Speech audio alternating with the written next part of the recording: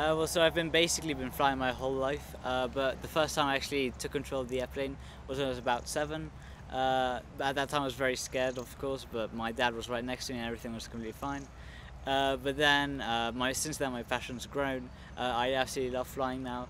And when I was 15, I got my license to become the youngest person, the youngest pilot in the world. I'm trying to be the youngest person to fly solo around the world. I'm currently in Nairobi, and uh, I've just come from Lokichoggio.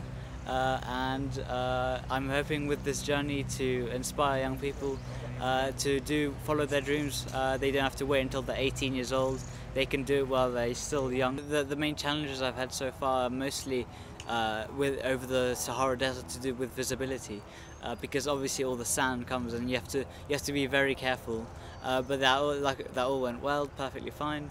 Um, and then actually when I came into Nairobi, um, it was completely fine. But they're they're quite high mountains here, and they're quite low clouds, uh, so I had to really be careful. And uh, I I can I didn't get uh, radio contact until I was very very close to the airport. The things I I've, I had been hoping to see were actually the Sahara Desert and quite a lot of this area around here, uh, where where it's very beautiful landscape and it hasn't let me down. I, I absolutely love the views, uh, both in the Sahara Desert and around Kenya. Um, but right now, I'm I'm I'm hoping to see more of places like Madagascar or the US uh, or Dubai, things like that. Special places that, that you don't see anywhere else.